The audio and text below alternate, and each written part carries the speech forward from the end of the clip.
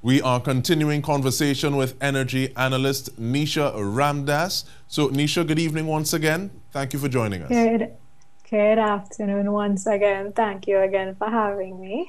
No, I want to I want to get some of the backstory, please, Neisha, because many times, and I will say, sadly, good, bad, or indifferent, sometimes it feels a bit novel. Someone so young, someone who's female, is an energy analyst. What made you decide, okay, well, this is the course of action I'm going to take? Okay, hopefully I don't sound ramble on with this part. But um, I started a degree at the University of Trinidad and Tobago in petroleum engineering because I took a liking to, a I should say, a preliminary liking to the industry. But um, upon doing so, um, I really wasn't inclined to the um, technical aspect of it. And in, in, in kind of reevaluating, I said, you know what, let me take a step back. And I said, you know what, let me weigh my options. So when I stepped back and I said, you know, um, let me let me try another route. So I decided to embark on a degree, um, environmental and natural resource management at the University of the West Indies. And there I just fell in love with the sector even more because um, with a degree like that, you think that it's more of the environmental side, but the natural resource management side kind of caught my eye. And upon completion of that, one of my friends suggested to me there's this program at Lok Jack called the um, Sustainable Energy Management MBA. And I just said, you know what, let me do my due diligence, researched it. And I was like, this is so amazing. And it was my first year of doing my MBA that I sat down and um, I think one day I was just on Twitter um, explaining stuff about the budget to, to some people and one of my friends suggested, why don't you start blogging about this? And I was like, I don't know if I'll be really good at that because this is a really complex sector to break down. And this is something that, you know, you have to be really committed to. And that was the first time I did a budget panel on TV. And from there, I just started my energy blog, Energy TT, because I, I my my view is that I was fortunate to receive a, a overall education with regards to the sector, not just technical. I received corporate finance insights, I received econ insight, I received technical. So it was like everything wrapped up into one, and I wanted to share this knowledge. So I started my blog, but at the time, that was when there was a, a dip in the oil and gas price, and the, not much people were hiring at that point. And I just said, you know what? It's time for me to create my own lane, create my own job title. And from there, I just became Neisha Ramdass, energy analyst. I think we need some theme music to go with that, but thank you for sharing. and in terms of the conversation that we had uh, recently, we touched on renewables. And I want to go mm -hmm. back there, please, uh, but slightly different. What kind of scale can can mm -hmm. we mm-hmm. start from? What is the minimum? And I am thinking uh, somebody rural, uh, you have a farmer who raises pigs, raises raises uh, cows, and they mm -hmm. say, okay, well, I wonder if I can use something um, like biogas. What are what are mm-hmm. some of the minimum factors that we need to be aware of if we're trying to make that kind of switch? Okay, so apart from, okay, let's start from your um, domestic use level and then we'll go to the farmers and we talk about like what is needed, the guidelines, that sort of stuff, right?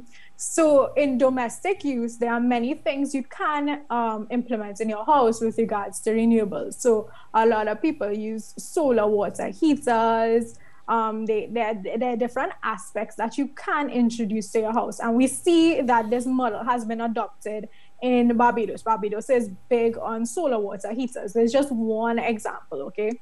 And what you need to do with that is make sure one, your installation is proper, and two, there are guidelines that you need to adhere by, provided by the um, Electricity Co- Commission of, of Trinidad and Tobago, TNTEC. So what you need to do is make sure everything is up to standard. Um, they have literally a stringent set of guidelines that you need to follow for these things. Apart from that, um, a lot of people might install and just kind of go off grid and that kind of thing. Um, while it is acceptable at times, again, you need to have basically the blessing of TNTEC. You need to make sure everything is properly well up to standard. And um, what what we see happening and what was being introduced is that we need to um we spoke about this last week. We need to kind of go back to the um the tariff feed-in tariffs and the um the policies and legislation surrounding implementing renewables in your home. So unless these things are undone i want to reiterate it is Ill- it is illegal to put power back onto the grid. So if you're going into renewables like you need to go completely off grid right and I think it's important for the information gap to be bridged because a lot of people want to implement certain things in their house. Example, the solar water heater again. Um, I'm by no means an installation expert, so I cannot tell you what make, model, and brand to get. But what I can tell you is somebody you need to consult before doing so is the Electricity Commission of Trinidad and Tobago again, TNTEC with regards to um, farmers and waste to energy, so we've seen that there have been studies um, regarding waste to energy in Trinidad and Tobago. One example was a study done by um, Professor at UTT, um, Dr. Solange Kelly. I remember she taught me thermodynamics in my year at UTT. She's an amazing lecturer. Um, she did a study and said that it is feasible, but it needs to be managed well. And there needs, like, even though this, again, the startup cost might be a bit, you know, on the expensive side, it is something that would benefit us in the long run. With regards to farmers, if we're looking at a smaller scale, I reiterate again, you need to go through the TNTEC to make sure you are up to standards at all points because you don't want to implement these these expensive technologies in your house and then you're not meeting the requirements and TNTEC come stay home and say, well, you know what, you need to stop this, whatever, whatever, whatever. So farmers do have the option because a part of the waste energy is that biogas, you know, converting it into energy and that sort of thing. And I think it is a feasible option. It also depends on the type of farm you have, the, the type of animals you raise, whether it's pigs, whether it's cows, that kind of thing. No. Yes, and we get the point, and I'm thinking that we need, to, it will do us well to have a conversation with TNTEC to be able to raise that level of awareness. But uh, are there other types of waste that you see being able to go from waste to energy? Um, what I can say about this is while I've been doing my MBA, I've seen a lot of projects, um, studies happening where people are thinking about using, because we have like the dumps are like maximum capacity about, you know? So we have that supply of waste to be converted to energy, but also we need proper infrastructure, proper management. Um, how is this going to go? And I think that is the key point here. We can't just say, okay, let's go to waste energy. It is a feasible option, and it is eliminating waste within our region, our, our country. Sorry about the region, but it is something that needs to be managed well, and it is something that needs to be discussed well. And I think it was in 2018, um, the Ministry of Energy and Energy Industries they um, were seeking consultants with regards to waste to energy projects. And I think that's a, a step in a good in a good direction because it's allowing for people with the technical and um, capacity basically to kind of come out and show well you know what we have the the the knowledge and the experience let's capitalize on this and you know make the country more energy efficient you know cut back our usage of, of fuel and natural gas and that kind of stuff now, you started off talking about being on a panel. We're not going to ask you to speak to the budget, but at, or what you'd like to see in it. But when we come back, we want to get your points or your takeaways from how energy and en in energy industries have been addressed in the PNM's manifesto. So stay with us. We come back speaking with Neisha Ramdass after this. Welcome back. We are speaking with energy analyst, blogger, writer Neisha Ramdass. We'll actually put her website up for you to see in, in a bit. But Neisha, I want to start back by asking, what are you paying most attention to in the with regard to energy in the release the recently released PNM's manifesto? Okay, with regards to the manifesto, I must state that the energy section of it, I really found it to be very comprehensive. If somebody from the general public wants to read it, um, it was really um, broken down well. I think there were points noted that we should pay attention to. Um, I think the manifesto is also a good measure of what we should hold our governments accountable by So if you say that you wish to do XYZ in your manifesto, this is basically what we're going to grade you on for the next five years, right? Obviously, you know, things would happen. Not everything could be achieved. But the things I'd like to pick out that really stood out to me, and I think we should have a focus on it, is um, the energy efficiency section. So let me touch a bit on that. Um, they spoke about having an energy conservation and energy efficiency policy and action plan. Um, I'd like to see more about this, you know, delve into this more.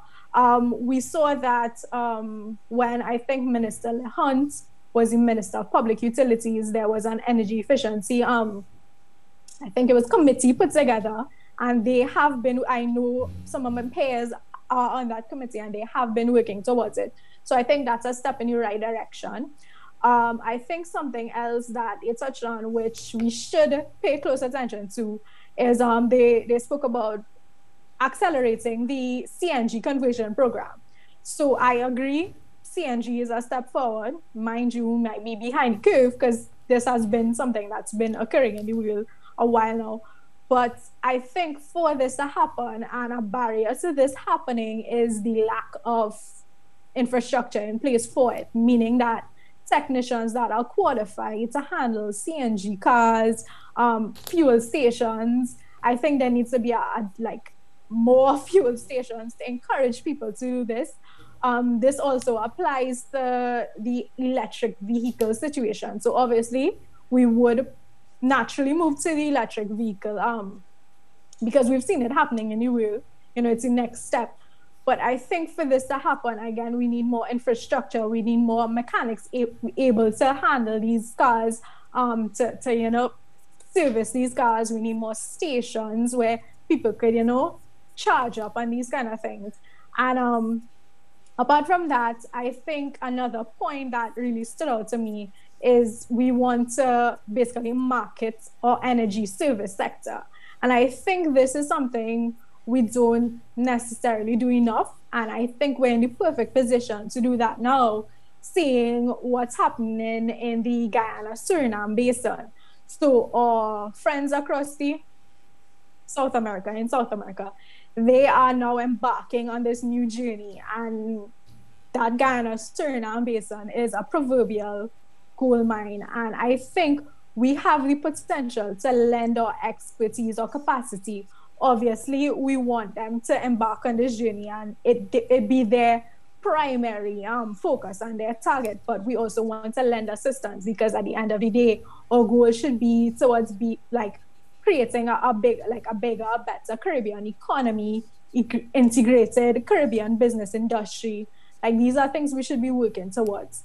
And I think we can lend expertise in that in that aspect. I think we have a great energy service sector. I work for an energy service company. So this is why I'm saying that. And I think it's a, great opportunity for us.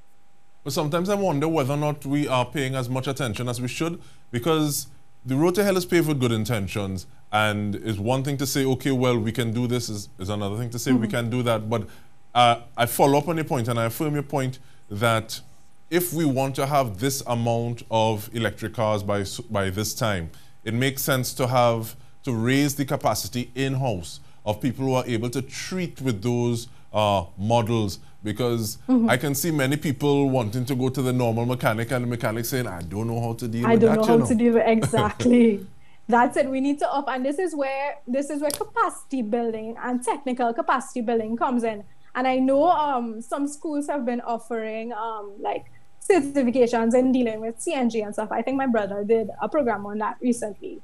And I think we need to mainstream this more. So it shouldn't just be a certificate or whatever. We should be actually providing incentives to some mechanics to say, you know what, well, this, co- this, this course is offered at a significantly subsidized or lower rate. Um, what do you think about doing it? Because this is the future, this is the way forward. And with that, what is your ideal energy situation in terms of this is what I want to see Trinidad and Tobago doing by the year 2030? And on the flip, on, on to back, after that question, I'm asking, what are some of the steps you think we need to take to get there? Okay, so I'll cover my my hopes, and I will cover the steps to correspond with them one by one. So, what I'd like to see, and anytime you hear me speak, you will hear me speak about diversifying our energy mix. And this ties in, it's very cyclical. So, everything relates to the other. Um, diversifying our energy mix, and I'll reiterate the points I made last week.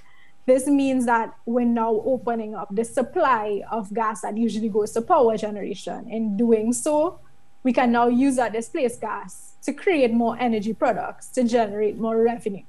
Also, by doing that, we're now optimizing the use of one natural gas molecule and we're creating more revenue from that one natural gas molecule. Um, I think something else I'd like to see, I'd like to see us at least attempt to meet our um, commitments made in our nationally um, determined contributions, which comes from the whole Paris Agreement and COP15, all of that, right? I would like to see us become a more energy efficient and energy aware nation because we need to ensure that we are more energy secure. And I use some terms there that might seem straightforward, but much, much people don't understand. And if you don't understand, you won't be you won't feel this this this need to become more energy aware. What do we mean by more energy aware? We need to take stock on a domestic, on a commercial, and an industrial level how we're using energy. We don't want to to default to this this wastage, and we need to to work towards energy security. And I say energy security because the energy market, the global energy market, is very volatile. We've seen what happened this year with regards to the oil price dropping below um, below um, zero. It, it was negative at a point. And I think that we don't want our economy to be directly tied to this fluctuating prices, volatile price, because we don't want to be held ransom basically by this price. And I think in order to do that, we need to take stock, like I'm I'm I always say I'm not an advocate for completely getting rid of oil and gas. That's that's not what I'm about. I'm more about managing oil and gas more sustainably in a way where not just our generation, generation after us benefits, but it's a long-term thing. And we also need to take into consideration that oil and gas is non-renewable. It is finite. It will run out at some point. What are our contingency plans? What are we planning to do?